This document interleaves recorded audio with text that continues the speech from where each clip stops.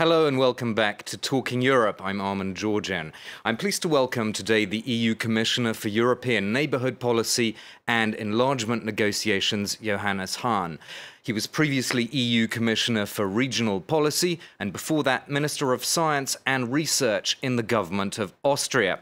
In a varied career, Mr. Hahn has been active in regional politics, in business management, and a leading figure in the centre right Austrian People's Party. Welcome to the programme, Mr. Hahn. Hello. Let's start with the European Neighbourhood Policy. This was launched in 2003 to bring uh, prosperity and stability to Europe south and east. But if you look at many places, Libya, Egypt, Israel, Palestine, the South Caucasus, it doesn't seem to have worked out particularly well.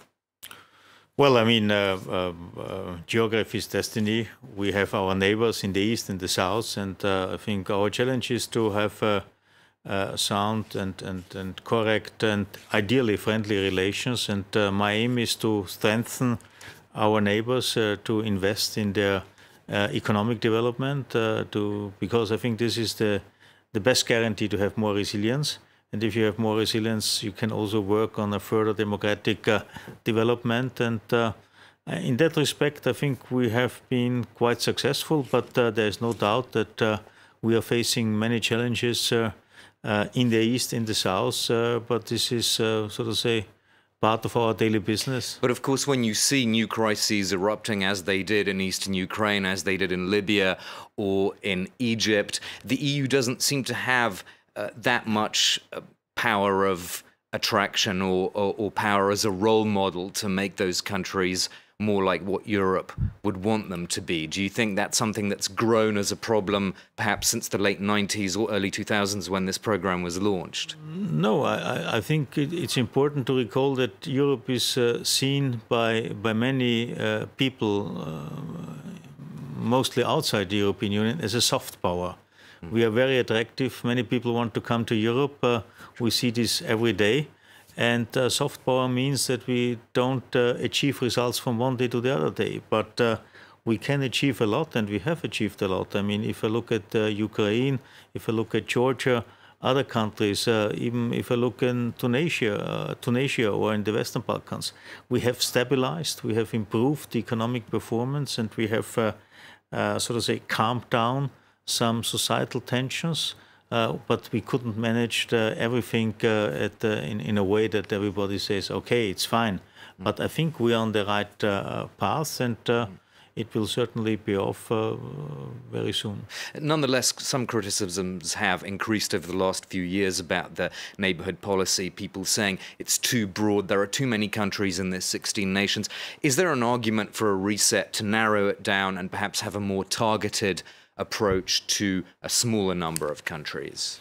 Yeah, neighbor stays neighbor, and uh, I cannot, uh, uh, so to say, differentiate between. Uh, uh yeah. don't know if they are in our neighborhood. They are in our neighborhood. Sure. But uh, what we have done is two years ago to revise our policy, and what we have introduced are four key elements, and one of them is, so to say, um, that we are looking for a kind of tailor-made uh, cooperation with our neighbors. Because there are some neighbors, in particular in the east, which have a European aspiration. Others are more distant. Uh, the south, they can't become member of, of the union, but there are also different levels of engagement with us. Mm. And in that respect, uh, we have uh, uh, shaped our uh, way of cooperation uh, respecting our interests, but also trying to match the interests of our partners. Let's talk about that tailor made cooperation in respect of a particularly important country for.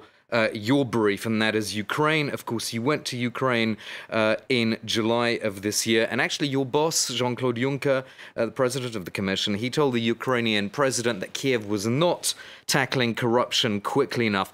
What do you think the remedy should be? Should the EU take a a harder line, perhaps threatening to with, withdraw, I rather withhold some of its financial aid in the future? Uh, this is a very good example uh, about, so to say, the soft power of, uh, of the European Union. Um, Ukraine and the Ukrainian citizens were eager to get visa liberalization. And in order to get visa liberalization, we introduced uh, 144 criteria which have to be fulfilled. And the last one, which took uh, a couple of months to be uh, implemented or fulfilled, was an electronic asset declaration by um, uh, to be done by politicians, but also by senior civil servants, in order to declare in public what are their assets. And if they are not uh, declaring this correctly, they are facing severe uh, punishes, punishments. And this has uh, triggered, uh, so to say, a lot.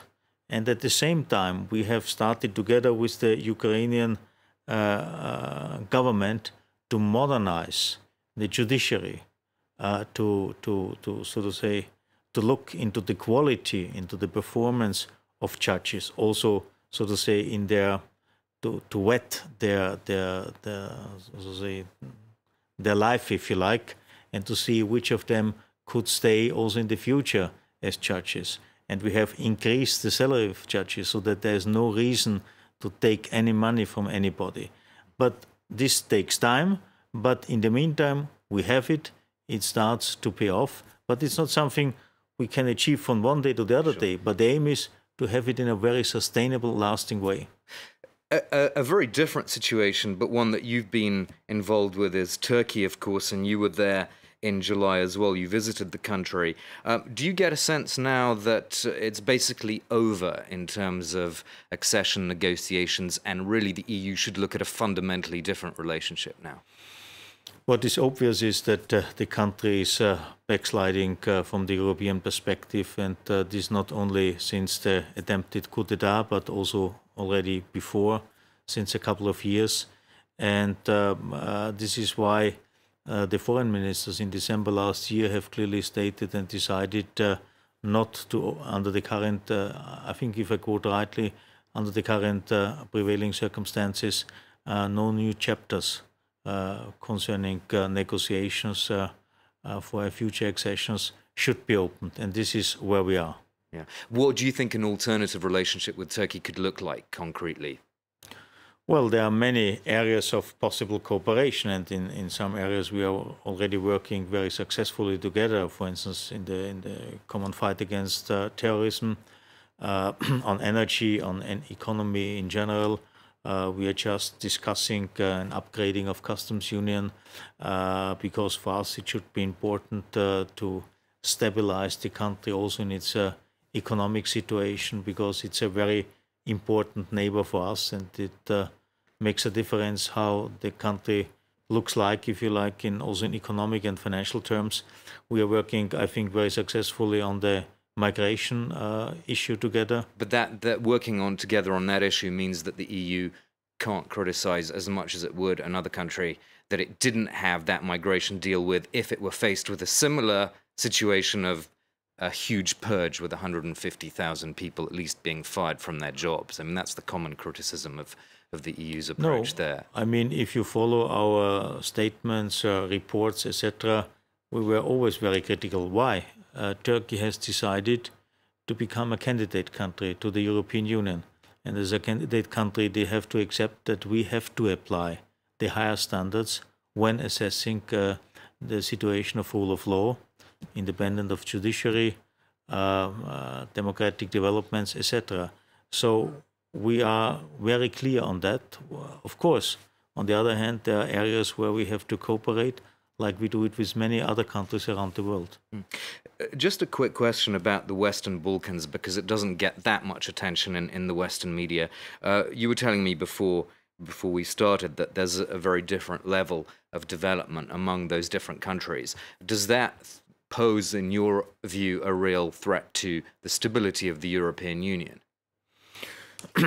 uh, um, no, but uh, what uh, we have to see and to understand, and I think this is uh, common sense amongst the European politicians, is that uh, if we would like to have a, a lasting, uh, peaceful development in the region, this is only achievable if there's a European perspective for all these countries.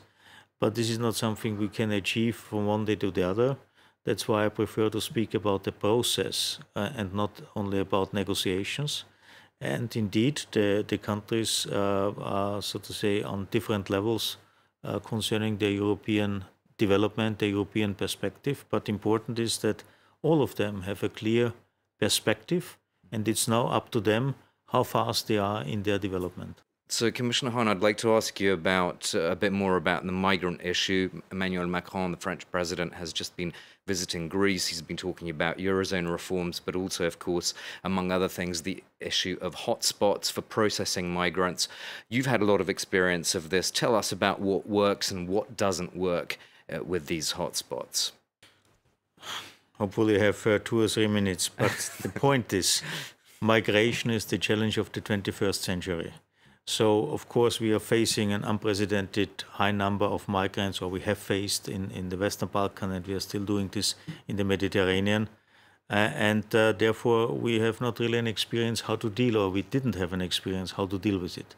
And in that respect, I think trial and error is something which is um, um, necessary to apply. Uh, because what we are developing now is something we can use in the future. It's like creating uh, and, and, and building a toolbox for accommodating with such challenges we will face also in the future. If I take the number of uh, possible people in Africa in the next uh, couple of years and the, the, doubling of inhabitants in Africa and, and, and in other countries. So migration will be the huge challenge of the 21st century, uh, globally spoken. And therefore, we have to test out what are adequate um, uh, measures uh, first to differentiate between migrants and refugees. And uh, the huge number of people which try to change from one country to the other are migrants and not refugees. Refugees can ask for asylum and they will get it. Migrants, most likely not. And this is exactly why we try to have centers yeah. where people can be checked, where we can talk to people, where we can tell them uh, at a very early stage. It's unlikely that you will get asylum in Europe, or it is possible that you might get it. At some point, though, these concepts are going to have to be changed, aren't they? Because climate change will actually uh, probably modify the whole conception of a migrant versus a refugee. And you mentioned Africa before, the, the, the likely very big flows we're going to see in the next few decades. Indeed, uh, I think this is something we have to discuss on a on a on a global uh, level. Uh, what is, uh, so to say, a new definition of refugee? Because our definition still stems from the time just after World War II and was definitely related to a war situation. But as you rightly said, uh, climate change could be a new reason to become a refugee if there are no alternatives. So this is something one has to discuss, but this is not something of uh, today and tomorrow. Today and tomorrow we have to deal with uh, the, let's call it migration wave towards Europe. When you look at the rise and fall, or I should say ebb and flow of uh, populist policies uh, politics in Europe in the last two or three years. Uh, do you see any particular pattern? Are you optimistic or pessimistic about uh, the future of populist political parties, for example, in your in your own country in Austria? Well, um, if you take your country, if you take France, uh, we have seen, and if I take uh, my country, uh, the um, presidential elections last year, I think uh, if somebody is uh, very clear, for instance, uh, on on his European uh, perspective, this is something which is honored by people. It's about uh, transparency. It's about openness. It's about giving, so to say, or presenting oneself with a clear program, and then I think the huge majority of people is able to take the right decision because everybody understands in the meantime um, there is no alternative to the European uh, project and uh, the, the European Union. And of course, like every entity, we have to work on ourselves, we have to further develop, we have to, to accommodate with new challenges. So there's a work in progress.